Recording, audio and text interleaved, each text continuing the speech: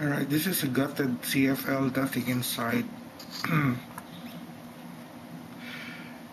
and the connections are made.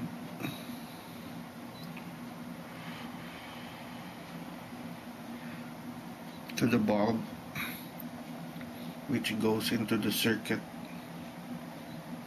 And I'm using a 4 4.5 volt battery in series and there's a connection. There you go. So it's lighting up nicely.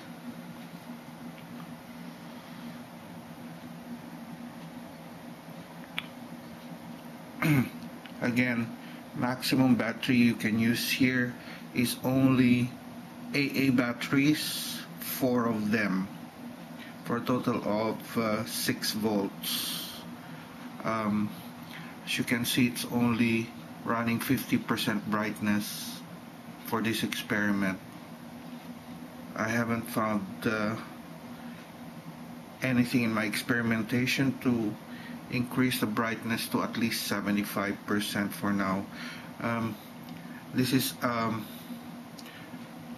7.5 watt uh, CFL again it's gutted.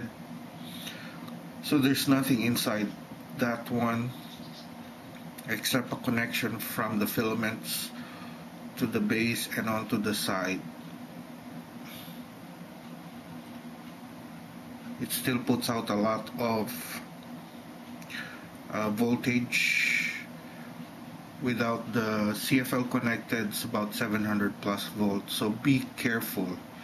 If you don't know what you're doing please don't do it.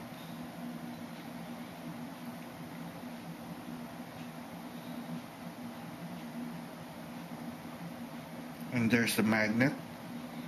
Uh, it makes the bulb uh, steadier and uh, slightly brighter. Alright have a nice day. Bye